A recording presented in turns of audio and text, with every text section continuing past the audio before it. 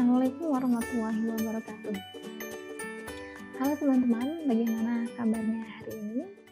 Hari ini kita akan mempelajari mengenai serat tekstil, khususnya adalah sifat-sifat serat, baik secara fisik maupun kimia. Sebelum kita memulai materi hari ini, marilah kita bersama-sama mengucapkan basmalah. Bismillahirrahmanirrahim. Hari ini merupakan materi yang kedua setelah kemarin kita mempelajari klasifikasi serat. Nah, hari ini adalah lanjutan yaitu sifat-sifat secara umum. Sifat serat secara umum maksudnya di sini tidak terkhususkan sintetik ataupun alami ataupun yang lainnya, tapi secara garis besar baik itu sifat fisik maupun sifat kimia. Baik, yang pertama sebelum kita lebih jauh apa sih sifat fisika dan sifat kimia, kita mempelajari dulu dasarnya. Kita mempelajari mengenai atom dan molekul seperti kita dulu pelajari di mungkin di kimia dasar. Nah, pengertian atom, atom adalah partikel yang terkecil uh, pada suatu elemen yang menjadi bagian dari suatu reaksi kimia. Sedangkan molekul adalah hasil dari dua atau lebih atom yang berikatan satu sama lain dengan uh, ikatan kimia. Seperti di sini adalah molekul air. Kita lihat di sini ada hidrogen atom. Kemudian ada uh, oksigen atom. Jadi ini air seperti kita tahu adalah H2O. Jadi H-nya di sini adalah hidrogen, kemudian O-nya di sini adalah oksigen, ini masing-masing atom. Nah, jadi satu nih, tiga atom ini jadi molekul atau molekul air lebih lengkapnya. Kemudian tujuh elemen uh, yang dari 103, bagaimana elemen yang penting ini, yang uh, tujuh elemen ini yang sering kita jumpai seperti itu ya. Dan bagaimana atom ini satu sama lain menjadi uh, satu komponen atau satu senyawa. Nah, atom uh, nomor atom ada di sini. Contohnya di sini 1 8 7 6 16 17 11. Ini bisa kalian lihat nanti di tabel uh, atom masing-masing hidro elemen uh, tabel kimia kalau misalnya uh, anak teknik kimia pasti tahu dan mungkin dulu waktu SMA pernah menghafalkan Kemudian di sini adalah valensinya, kemudian ini adalah contoh senyawanya. Kita lanjut lagi ke polimer. Apa itu polimer? Jadi eh, sebuah senyawa kimia itu terdiri dari molekul. Kemudian mereka si molekul-molekul itu menjadi satu, jadi suatu senyawa uh, baik yang sama ataupun berbeda senyawa-senyawa yang berbeda kemudian satu sama lain itu disatukan dengan uh, suatu ikatan ikatan uh, molekul. Contohnya di sini adalah polietilen uh, kemudian di sini ada CH2 di sini juga ada CH2 kemudian di sini ada ikatannya seperti itu nah kalau misalnya kita gambarkan secara visual uh, polietilen ini bisa seperti ini. Jadi seperti uh, manik-manik yang menyatu. Nah, ya, satunya ini adalah diikat dengan uh, ikatan molekul atau uh, rantai molekul. Seperti itu. Ini gambaran yang lainnya secara tiga dimensi bagaimana bentuk dari polietilen. Nah, di sini N-nya itu adalah banyaknya. Jadi uh, banyaknya. Jadi kan jadi C2 di sini hanya dapat C2H4 kemudian berapa kali lipatnya di sini dinyatakan dengan N.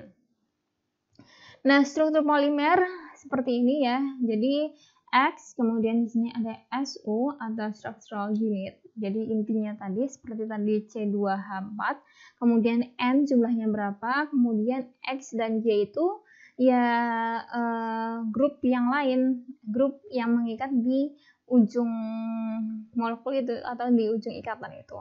Di sini X, and, uh, X dan Y adalah N groups. Jadi di sini bisa X, di sini bisa Y. Apa saja itu. Kemudian S adalah structural unit. Kalau tadi yang kita contohkan adalah di sini. Kemudian adalah n is a large number, 60 or above. Jadi n itu bisa berapapun, bisa 60 atau di atasnya, atau bahkan ada yang sampai 1000. Nah, di uh, N ini disebut juga ada degree of polymerization atau DP. Sini. Jadi banyaknya N di sini disebut dengan DP. Definisi-definisi yang lain ada yang namanya monomer. Monomer itu adalah simpul molekul, jadi molekul yang simpel, yang sederhana, yang dapat membuat uh, polimer, jadi membentuk polimer dengan cara mengkomunikasikan uh, dengan molekul yang sama atau uh, yang identik, seperti itu. Itu namanya monomer. Sedangkan polymerization adalah banyaknya monomer, jadi monomer yang kecil-kecil itu tadi monomer yang kecil-kecil ini tadi bersatu sama lain. Kemudian prosesnya disebut eh, disebut dengan polymerization. Nah, nanti membentuk yang namanya polimer. Jadi polimer itu gabungan dari monomer, proses uh, untuk menjadi polimernya namanya polymerization atau polimerisasi dalam bahasa Indonesia. Kemudian bagaimana sih mengkategorikan polimer? Jadi uh, mengklasifikasikan seperti itu juga bisa disebutnya. Ada bisa dari tiga ini. Yang pertama adalah asalnya atau originnya, ada natural atau alam, ada bio atau synthetic polymer, jadi polimer sintetik atau biopolimer. Kemudian uh, menurut sifatnya ada termoplastik, thermosetting, and rubbers atau plastik. Kemudian juga reaksi polimerisasinya, ada polyaddition atau polyadisi dan polykondensation atau bahasa Indonesia polykondensasi. Ini juga bisa kalian pelajari lebih lengkap di teknologi eh, mata kuliah teknologi polimer. Uh, kita sedikit saja membahas tentang uh, polimer, mengingat kembali materi kuliah di uh, mata kuliah yang lain, contohnya adalah mungkin teknologi polimer atau kimia dasar pasti pernah mempelajari ini. Jadi reaksi adisi, di sini ada additional reaction.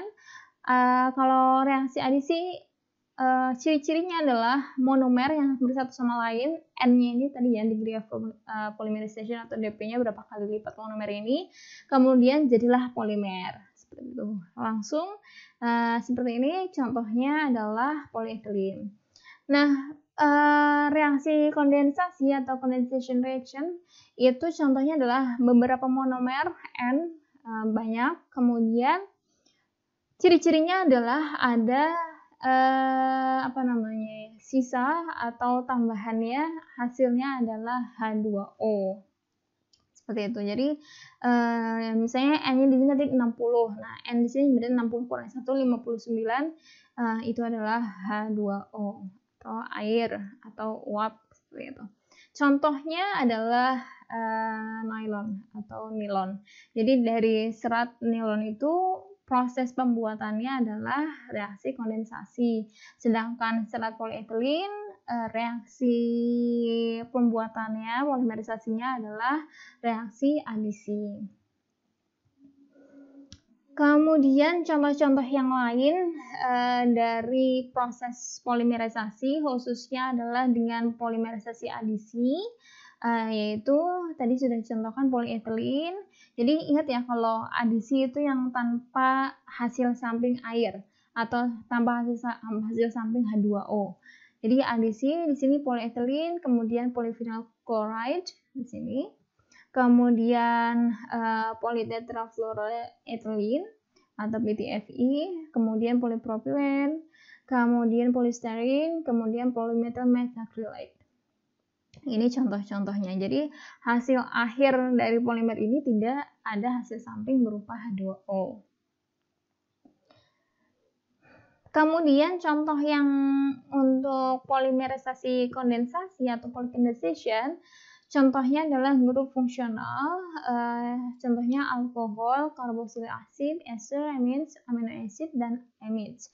Jadi uh, grup ini hasil sampingnya ada H2O-nya.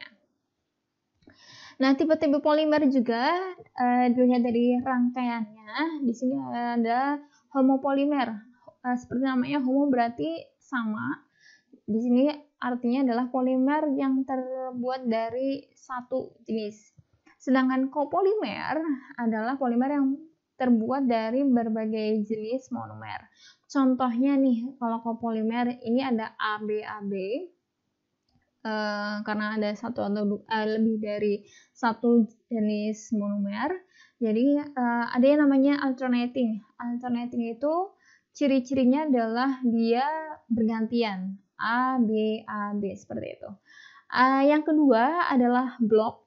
Kalau seperti namanya blok berarti berurutan banyak tapi runtut. Contohnya di sini adalah A-nya tiga kali, B-nya tiga kali, A-nya tiga kali lagi. Jadi berulang, tapi lebih banyak. Kalau alternating tadi satu-satu berulang, uh, hanya jeda satu saja. Kalau blok itu uh, bisa tiga, bisa empat, dan lain-lain.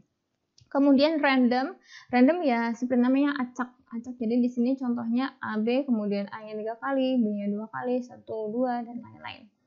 Kemudian uh, ada yang namanya graph uh, graf di sini contohnya adalah A-nya itu adalah rantai utamanya, sedangkan B-nya adalah uh, rantai cabangnya. Itu adalah uh, jenis-jenis kopolimer. Kemudian contoh yang lain, kalau misalnya kita ke serat, serat tekstil khususnya, di sini adalah ada serat cotton, kemudian jenis polimernya adalah selulose, Nah, selulose itu uh, monomernya itu glukos dan produk sampingnya adalah water atau H2O. Jadi di sini uh, proses polikondensasi karena uh, produk sampingnya ada water atau air.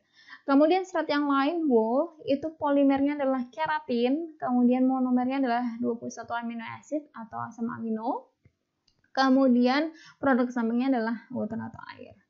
Nah, ini polietilen yang tadi sudah kita pelajari dari awal. Polietilen nama seratnya, kemudian nama polimernya adalah polietilen juga. Monomernya itu etilen, karena tadi ada tambahan poli ya. Jadi poli itu untuk polimer banyak. Kemudian monomernya etilen dan uh, produk sampingnya tidak ada karena tadi uh, prosesnya menggunakan polimerisasi adisi. Kemudian uh, major fiber types in terms of chemical composition. Jadi jenis-jenis serat yang utama dalam uh, artian atau dalam uh, istilahnya untuk komposisi kimianya dibagi seperti apa yaitu ada yang pertama adalah jenis selulosa dan derivatifnya atau turunannya jadi itu jenis yang pertama. Kemudian uh, jenis serat yang kedua ada polyester atau PET. Kemudian jenis serat yang selanjutnya adalah serat protein. Contohnya adalah wool atau silk. Dan ini biasanya uh, memang serat-serat yang berasal dari hewan. Kemudian uh, komposisi uh, serat yang lain yang major atau yang utama uh, jenisnya yaitu poliamida atau PA. Contohnya nylon 6 atau nylon 6.6. Kemudian ada juga jenis namanya acrylic uh, PAN, polyacrylic uh, nitril, kemudian polyolefin, uh, contohnya adalah polyethylene and polypropylene. Nah, nanti kita akan pelajari satu-satu nih uh, bagaimana masing-masing sifatnya, bagaimana uh, apa namanya kimianya, fisikanya, dan penggunaannya sehari-hari itu seperti apa. Akan kita kupas satu-satu dalam semester ini. Kemudian ini adalah uh, syarat bagaimana serat itu bisa diproduksi. Jadi di sini what makes a material suitable for fiber production. Jadi uh, apa sih syaratnya material itu bisa dibuat, material itu bisa uh, digunakan sebagai serat tekstil untuk diproduksi. Yang pertama adalah high DP atau degree of polymerization itu lebih dari 60. Jadi N-nya tadi kalau kalian masih ingat uh, polimer itu kan ada N-nya. Nah, N-nya itu kalau lebih dari 60 ikatannya banyak, berarti itu bisa masuk syaratnya uh, apa namanya menjadi serat.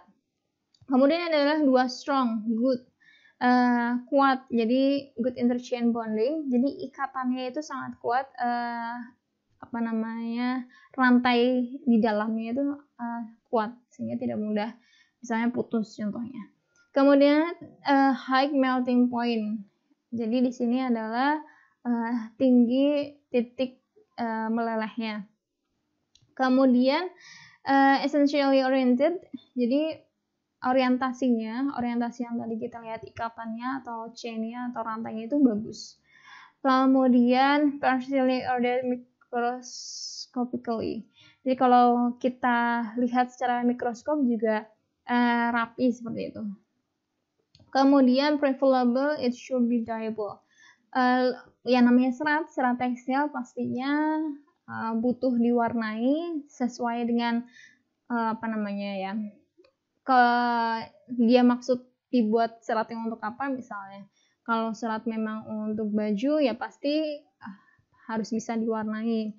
Tapi misalnya untuk medis dan lain-lain tidak perlu diwarnai, tapi preferably-nya lebih memilih yang pasti bisa diwarnai serat tersebut.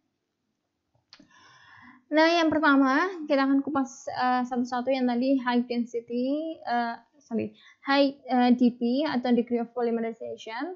Uh, jadi N-nya itu yang tadi kita sudah pelajari itu harus banyak. Contohnya di sini kan uh, ikatannya uh, banyak kemudian jadi mewakili satu lingkaran itu ya satu monomer istilahnya seperti itu jadi ini sangat banyak uh, degree of polymerization lebih dari 60 kemudian yang kedua adalah strong atau uh, good interaction bonding kuat dalam artinya dalam artian ikatannya itu bagus uh, rantai satu dengan yang lainnya contohnya di sini ada gambaran uh, longer polymer chains, jadi rantai polimer yang panjang, jadinya more bonds must be broken. Kalau misalnya rantai polimernya lebih panjang, maka ikatan yang dihancurkan atau yang rusak akan lebih banyak. Contohnya di sini, kalau ikatannya pendek, uh, jadi misalnya sama-sama rusak di sini part of breaknya, jadi shorter polymer, polimernya itu pendek. Tapi kalau misalnya uh, apa namanya uh, polimer chainnya atau rantainya itu lebih panjang jadi biar uh, kerusakannya juga seperti ini. Apa namanya? Lebih besar atau maksudnya tidak langsung patah seperti itu ya. Nah, kemudian yang ketiga adalah high melting point atau uh, tingginya titik leleh. Jadi ini berkaitan dengan uh, kain atau serat yang nantinya pasti akan banyak e, disetrika misalnya atau paling tidak dicuci dan dicuci itu kan biasanya ada cuci hangat atau cuci panas untuk menghilangkan bakteri dan lain-lain. Itu juga e, penting dalam e, serat tekstil. Atau untuk fungsi yang lain seperti memang pakaian untuk e, tenaga kerja di industri yang berkaitan langsung dengan panas atau dengan temperatur tinggi, bahkan untuk pemadam kebakaran, itu juga uh, pakaiannya harus terbuat dari serat yang memang titik lelehnya tinggi. Kemudian yang keempat adalah uh, orientasinya bagus. Jadi kalau di sini uh, gambarannya apa namanya kalau kalian nanti pelajari di sistem manufaktur tekstil itu karena ada sebelum dirapihkan istilahnya seperti itu ya serat itu kan acak. Kemudian nanti kalau kita sudah masuk ke drawing namanya proses drawing jadi proses uh, apa namanya ya me stretching apa namanya memberikan pressure atau memberikan tekanan pada serat sehingga uh, seratnya itu beraturan. Nah, itu pengertian mudahnya, logisnya ya. Jadi ini ada gambaran.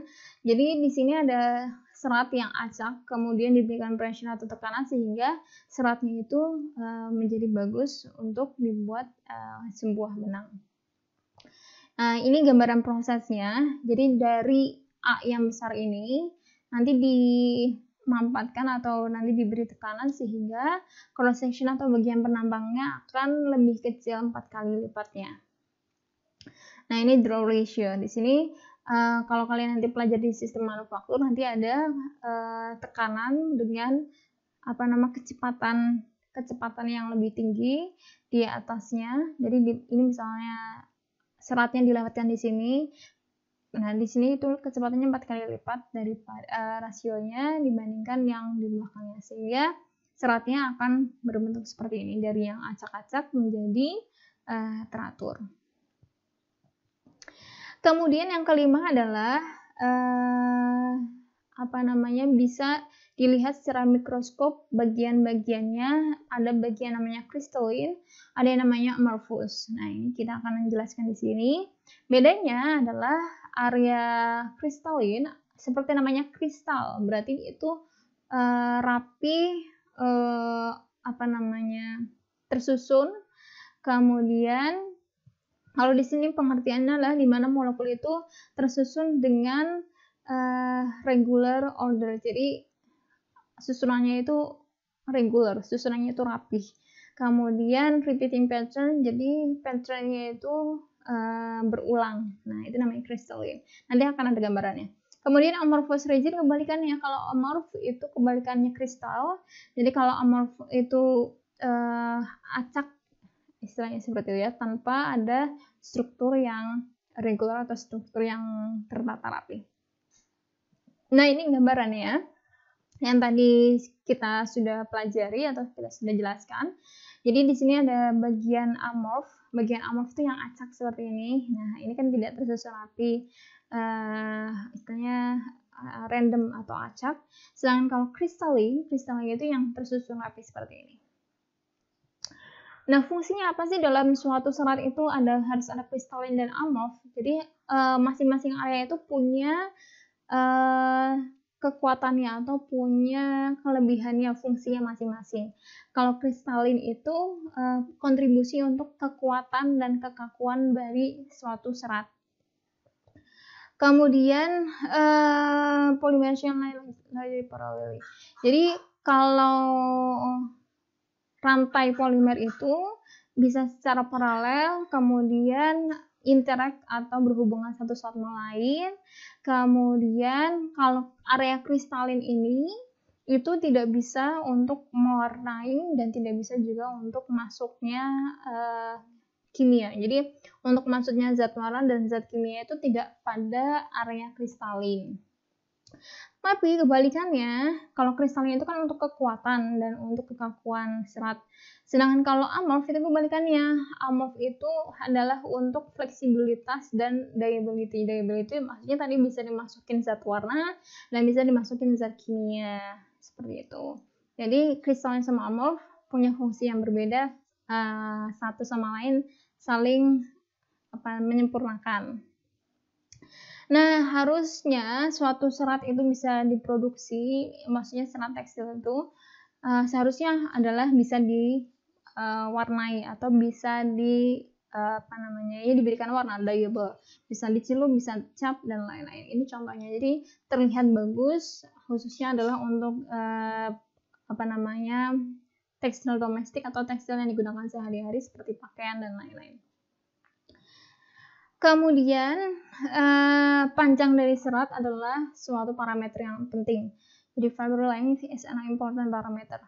Kalau untuk spinning, uh, fiber itu atau serat itu harus paling tidak 15 mm panjangnya untuk produksi benang. Jadi ini lebih ke karakteristik fisiknya bagaimana suatu serat itu uh, bagus untuk diproduksi, yaitu panjangnya harus ada minimalnya.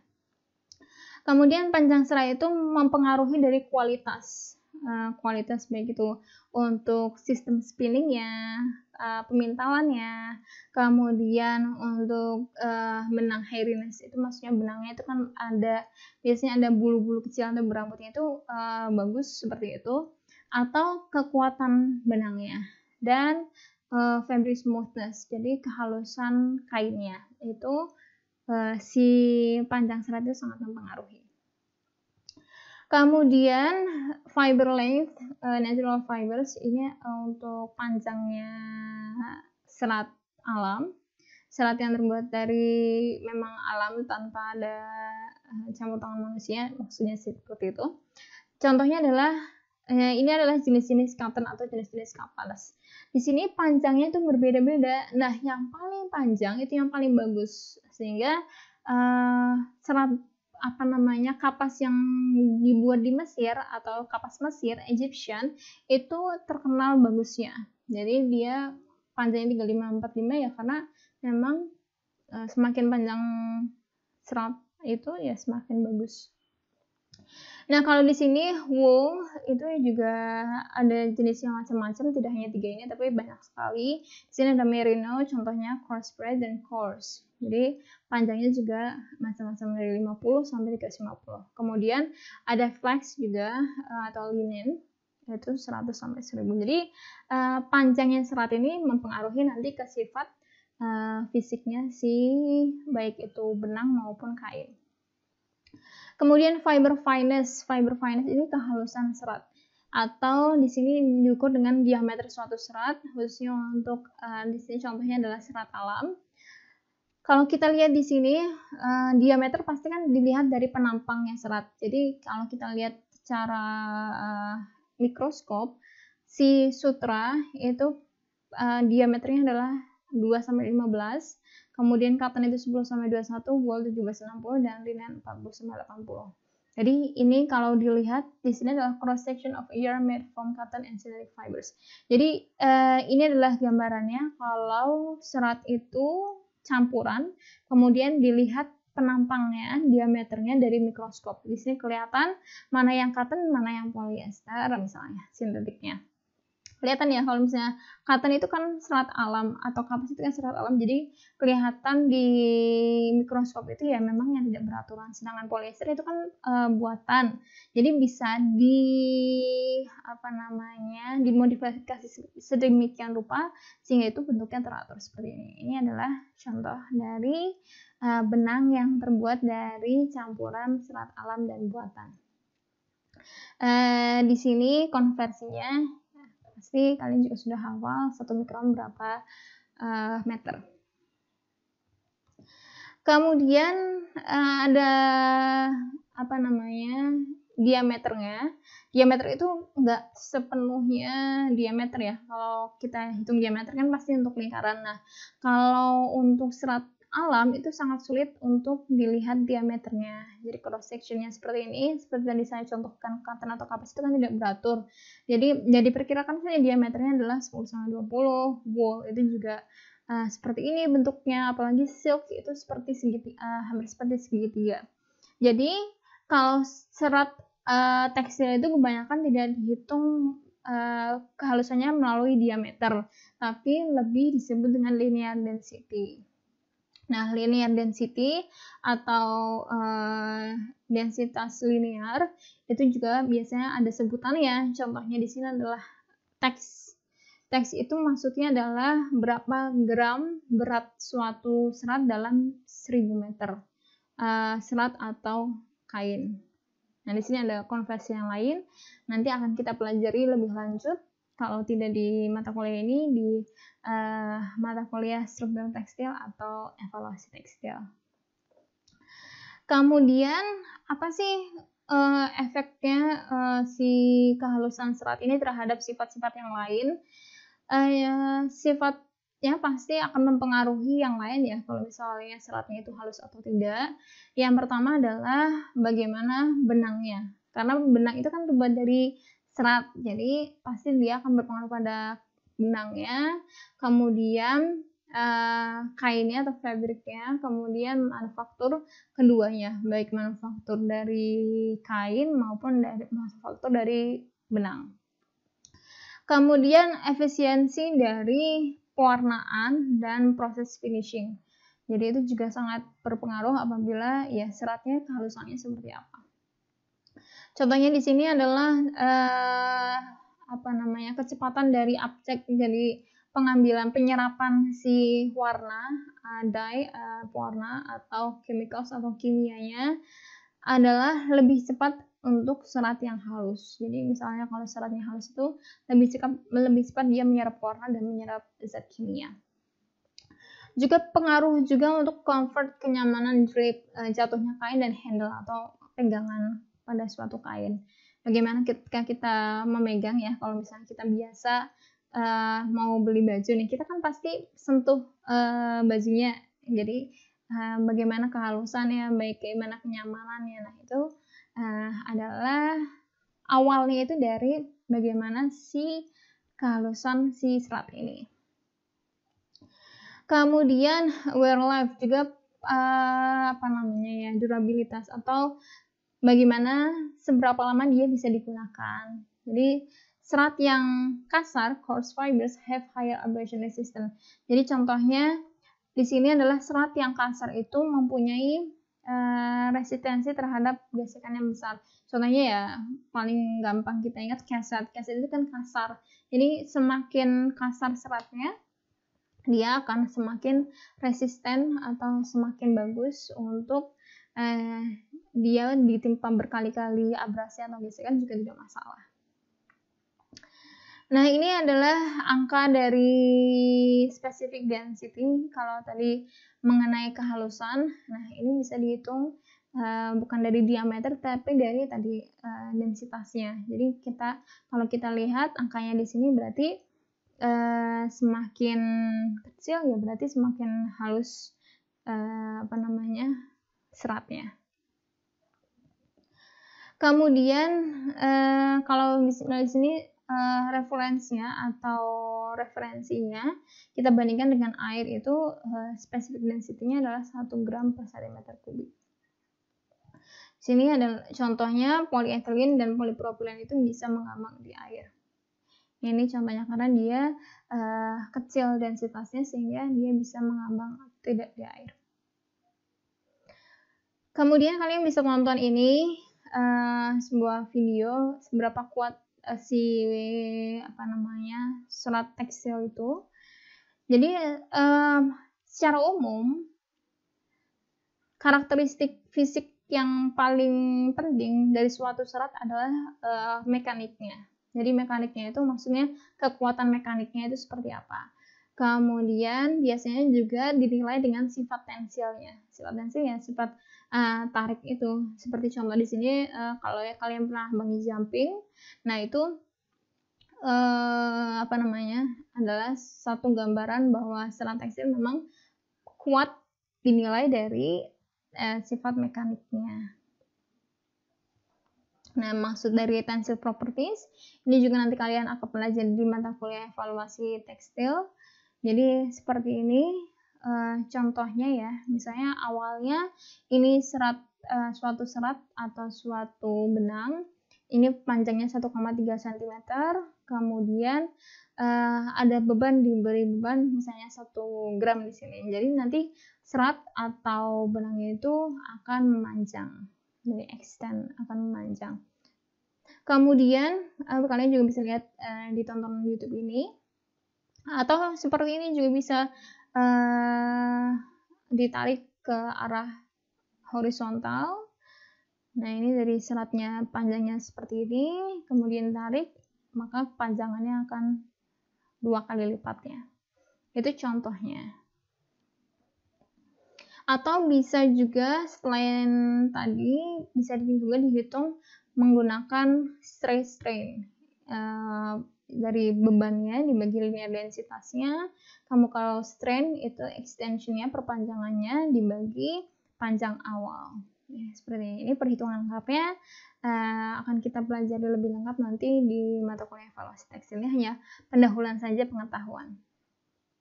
Nah, ini contoh kurva stress strain curves. Uh, jadi di sini perbandingan dari cotton, polyester, polypropylen, nilai 6.6, acrylic, viscose, dan wool. Bagaimana mereka uh, dibandingkan menurut stress strainnya. Jadi kalau di sini kan cotton, cotton di sini stressnya uh, cukup tapi strain atau mulurnya itu rendah jadi cepat putus sedangkan sifat-sifat uh, seperti uh, selat-selat seperti polyester polipropilen itu strainnya besar atau mulurnya bisa uh, panjang seperti itu ya nah dari serat alam yang bagus adalah wool. Jadi wool uh, nanti kita akan belajar tersendiri uh, khusus untuk wool. Jadi lain uh, wool kenapa padahal serat alam tapi kenapa strainnya itu uh, mulurnya itu baik? Karena ya seratnya kita nanti akan lihat karakteristik wool itu memang sangat unik. Dia bisa mengulurnya lebih baik daripada serat-serat alam Nah, ini kalau kita menggunakan alat kemudian dihitungkan uh, pada proses uh, uji tensel tadi. Nah, di sini dilihat dari tabelnya di yang ini tenacity or breaking load. Jadi di sini menampilkan tenasitasnya di sini. Kemudian yang garis ini namanya modulus. Kemudian yang work of rupture uh, adalah yang di arsir ini yang coklat. Kemudian breaking extension atau uh, perpanjangan uh, ketika dia putus adalah di sini. Uh, uh, di sini ada keterangannya. The modulus is the stiffness of the fiber. Jadi modulus ini modulus ini adalah menunjukkan seberapa kaku serat itu. Kemudian work of rupture bukan fracture yang di arsir yang ini yang coklat adalah menunjukkan toughness. Toughness itu ya sama, hampir sama dengan kekakuan seberapa tough seberapa kuat si uh, serat itu. Nah ini uh, perbanding, perbandingan yang lain. Jadi tenasitas dari berbagai macam serat uh, tekstil. Jadi di sini LDBE cotton silk uh, kemudian karbon. Jadi semakin tinggi angkanya di sini upper limit, jadi dia paling tinggi, kemudian lower limit. Jadi contohnya di sini adalah karbon yang sekarang lebih eh, banyak dipakai untuk uh, memang beban yang besar. Jadi dia upper limitnya itu segini, tenasitasnya paling tinggi segini, kemudian lower limitnya segini. Gitu kemudian jauh dibandingkan dengan misalnya cotton atau kapas, silk, bahkan baja pun itu tenasitasnya uh, rendah. Nah, ini uh, kalau kalian membaca grafik ini masih bingung singkatannya, misalnya tadi HDP itu apa, LDP itu apa, ada di sini. Jadi HDP high density polyethylene, LDP low density polyethylene dan lain-lain. Ini juga nanti akan kita pelajari satu-satu jenis seratnya. Uh, contoh penggunaan uh, serat tekstil adalah nilon tadi yang sudah uh, tenasitasnya tinggi sehingga dia bisa digunakan untuk tali untuk panjat tebing misalnya. Nah ini grafik untuk ekstensibilitas serat tekstil di sini tadi nylon atau nilon jadi kenapa dia paling tinggi karena ya uh, kenapa dia maksudnya kenapa dia digunakan untuk tali untuk panjat tebing? Ya karena ekstensibilitasnya itu bagus. Nah contohnya seperti ini. Untuk tadi untuk terjun bebas atau bungee jumping kemudian untuk apa namanya pakaian olahraga. Kan misalnya kalau kita uh, kalian main bola atau apa namanya biasanya ada tarik tarikan baju. Kan nggak lucu kalau misalnya ditarik lawannya terus bajunya sobek. Nah itu juga perlu dipertimbangkan yang seperti itu dalam serat tekstil. Kemudian ini uh, modulus grafiknya nanti bisa kalian baca sendiri Kemudian contoh yang modulus itu ya tadi karbon yang sudah saya sebutkan. Mengapa dia sebagai pengganti steel atau baja ya itu karena kekuatannya bagus sedangkan bahannya barangnya itu atau materialnya itu ringan. Jadi karbon itu banyak nah, sekali digunakan sebagai pengganti baja atau besi baik digunakan dari aircraft atau uh, alat-alat militer atau alat-alat olahraga seperti sepeda kalau sekarang sedang musim sepeda nah itu sepedanya ringan itu bukan terbuat dari baja atau besi tapi terbuat dari karbon.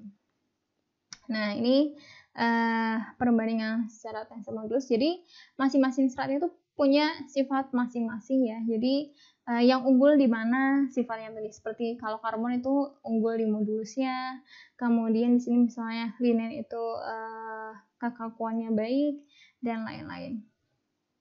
Ini work of rupture jadi dia bagaimana dia tough uh, dia bisa bertahan kalau misalnya untuk keawetan seperti untuk tas untuk bagus ya itu bagus kemudian untuk uh, terjun payung atau misalnya di sini adalah apa ya sebetulnya para layang atau uh, surfing uh, dan lain-lainnya itu bagus.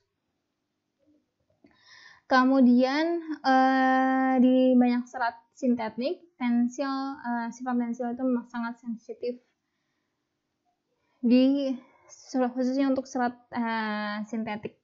Kemudian uh, kristalinity itu juga sangat penting baik uh, untuk sifatnya si serat sintetik itu kemudian molecular orientationnya atau orientasi molekulnya itu juga uh, dipertimbangkan untuk sifat fisiknya suatu serat berhubungan dengan sifat tensil tadi. Uh, kemudian, jadi ini khusus untuk serat sintetiknya, tapi tidak juga tidak bisa digeneralisasikan untuk serat alam. Nah ini contohnya polyester. Jadi ada jenis-jenis polyester semakin uh, orientasinya orientasinya semakin uh, polyester itu kan beda-beda orientasinya jadi tergantung seratnya seperti apa juga hasil stress strainnya juga berbeda di sini menunjukkan uh, orientasinya yang semakin besar maka stresnya itu atau kekuatannya semakin tinggi tapi mulurnya itu semakin rendah Nah, ini adalah uh, nilai dari masing-masing serat. Baik itu dari kekuatan. Tadi kan dilihat satu-satu ya, kalian sudah lihat per grafiknya. Kalau ini lebih lengkap ya. Bisa dibandingkan uh, strength-nya, uh, breaking-nya, initial modulus-nya, work of pressure-nya, moisture region-nya, melting point-nya, dan lain-lain. Yang uh, merah itu yang terendahnya, yang biru itu yang tertingginya. Kalau di sini strength kekuatan paling tinggi polipropilen. Kemudian di sini yang kekuatannya paling rendah adalah wall sama triacetat misalnya. Atau modulus yang paling tinggi di sini adalah flex, tapi yang paling rendah adalah wall. Seperti itu dan lain-lain. Uh, moisture gain ini juga nanti akan kalian belajar lebih lengkap di evaluasi tekstil. Moisture gain itu ya bagaimana si serat itu bisa uh, apa namanya menyerap uh, moisture atau kelembabannya. Bagaimana nanti didefinisikan bisa uh, dengan perhitungan.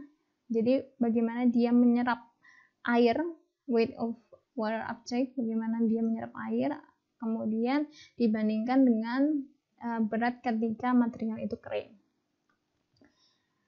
Kemudian ini di moisture di apa namanya istilah moisture gain itu atau moisture absorption itu ada namanya serat hidrofilik dan hidrofobik. Seperti namanya hidro itu air, filik itu menyukai, sedang fobik itu takut. Jadi hidrofilik ya dia memang jenis serat yang banyak menyerap air, sedangkan hidrofobik ya serat yang tidak menyerap air. Ini contohnya. Ini yang tidak menyerap air, sedangkan ini yang menyerap air. Nah, ini e, kalau digambarkan secara grafik akan seperti ini. Baik, e, itu adalah bagian yang kita pelajari hari ini mengenai e, sifat fisik dan sifat kimia suatu serat secara umum. Jika ada pertanyaan, silahkan komen di bawah video ini atau bisa japri saya melalui email, line atau WhatsApp. Terima kasih. Marilah kita akhiri materi pada hari ini dengan baca alhamdulillah. Alhamdulillahirobbilalamin. Assalamualaikum warahmatullahi wabarakatuh.